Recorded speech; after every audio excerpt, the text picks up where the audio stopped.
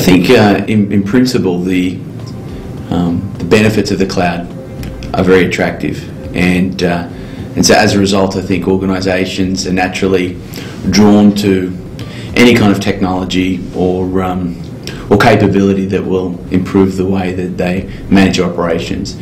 Um, I think with cloud though it's it's slightly more complicated. I think that organisations need to rationalise several things before they're able to make a clear determination as to whether cloud is indeed appropriate for, for them and, and, and of course when.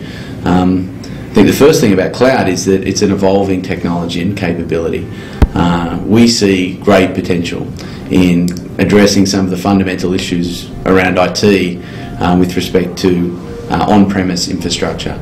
Uh, organisations struggle with cost, they struggle with inflexible infrastructure, they struggle with complexity, they struggle with meeting SLAs, they struggle with finding time and resource to be able to deliver innovation, which is just so critical given so much innovation is dependent upon technology today. Um, so cloud addresses in part most, if not all of those issues, or at least the promise of cloud um, does. Uh, I think the things that, that, that that are wrong with that statement, however, is that it doesn't necessarily answer in an explicit way questions of security, uh, questions of compliance, questions of regulatory conditions in markets that are very domestic market orientated. Um, it doesn't address issues of SLAs. You know, the SLAs, better or worse or indifferent to what's being provided by the internal IT organisation at that time.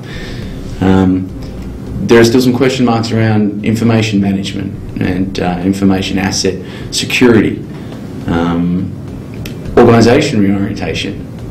You know, uh, the, the, the, the, traditional IT department as we know it would need to evolve significantly should a technology or a capability like cloud be, be leveraged. So I think that um, in principle, cloud will deliver on its promise as it evolves. Um, in principle, the technology does address some of the fundamental pain points of CIOs today, both in Asia and indeed around the world. But I think that there is a lot of definition around uh, some of the things that I just referenced in order to really make a clear determination as to whether it's easy or not. I think easy today big question mark. I think over time, ease of use will be something that cloud service providers factor into their offering. Um, I think that it will be a key element in actually drawing customers and acquiring customers longer term. Um, but right now, just given where it's at and its evolution, um, not easy, but still worth evaluating. I think the first one and uh, and, and the and the primary driver is always going to be around cost. Um, you know, if you look at the dynamics of capex and opex as it relates to IT, um, and more importantly, the principles of return on invested capital as it relates to IT, particularly previous to the introduction of technologies like virtualization from VMware. Sometimes return on invested capital would be measured in many years, and in fact, sometimes uh, as a goal never achieved. Um, I think that moving to the cloud, the, the first thing an organisation is going to look at is what is the, the, the cost benefit of doing so. Um, the first thing it does is on the cost side is it shifts capex to opex. And so organisations have traditionally planned for IT in annual cycles, three-year cycles or five-year cycles. And, uh, and oftentimes business unit owners will provide capital to a set of projects and not necessarily under, understand how the benefits of that project will affect their particular set of employees and or users. And um, moving capex to opex, one I think is more aligned with the normal financial planning cycle of a corporation or any company because it becomes more quarterly in nature, annual in nature, three-year uh, planning in nature. But I think the other thing, it draws a very tight correlation between how OPEX is being spent and how IT services are being delivered. And I think that that will begin to reorientate and address this kind of business and IT organisational dynamic, which I see misaligned. I think that understanding and addressing the cost paradigm over time will perhaps drive better congruency between IT and the business because we go from this cost centered dynamic to this business benefits and business orientated uh, dynamic. So I think the first thing is, is looking at cost. The second thing is just looking at the translation of workloads, the translation of service levels, the translation of operational practices.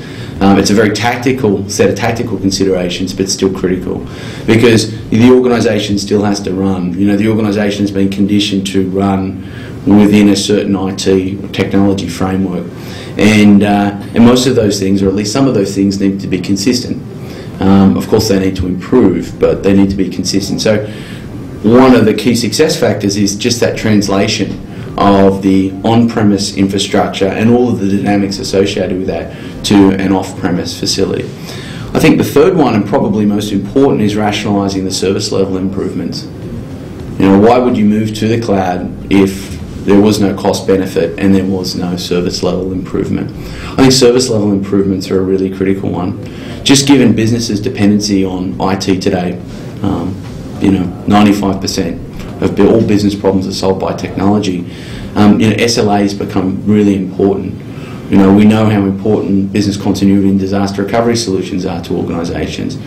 Um, and so ensuring that there is an improvement in service level through that transition from on-premise to off-premise, I think is critical. So assuming that cloud service providers can address the cost question and, uh, and answer that comprehensively and specifically around a shift from capex to opex. Being able to seamlessly transition workloads and applications from their own environment to a cloud service provider environment. And number three, provide the same level and or better service levels back to the business. I think those three factors would enable a successful migration to cloud.